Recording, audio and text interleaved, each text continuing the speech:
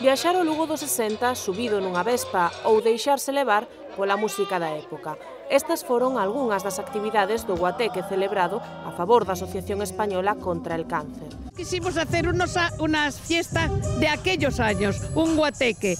De hecho vienen los diablos, la orquesta Limón, toda la música que tenemos es la de hace 60 años, eh, rock and roll, twist, todas estas cosas. Y bueno, ciertamente todo lo que hoy se oyó aquí eh, nos hace rememorar aquellos años. Unha cita na que estivo presente a Fundación TIC con dous stands. Un stand que é da Fundación TIC eh, que é un croma donde se proxectan fotos do Lugo dos 60 e pois se fai unha foto onde se incluen as persoas agora mesmo pois nesa época.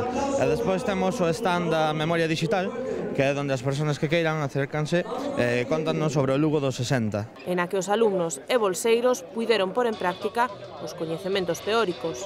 Esta práctica aportanos dúas cousas. Unha, unha soltura increíble a, a, cando nos toca traballar con xente de fora e outra, dando soltura no traballo. Sabemos o que é organizar un evento no mundo real e ademais eh, collemos cultura a nivel profesional que está moi ben.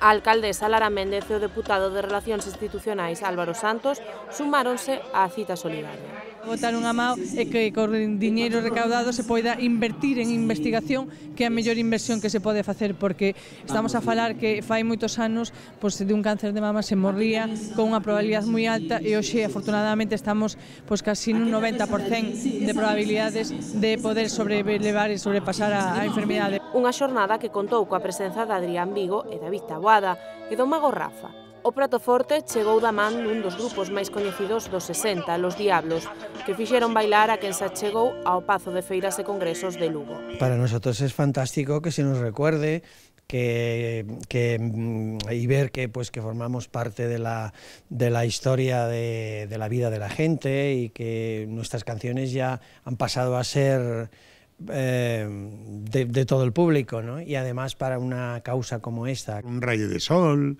el buscaremos un lugar para amar y soñar.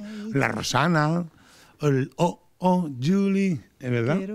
Mi talismán, que es una lavanda, lazos de amistad, casi todos los éxitos, no, todos los éxitos de los diablos los vamos a interpretar hoy. Un fin de festa que fixo viaxar ao pasado.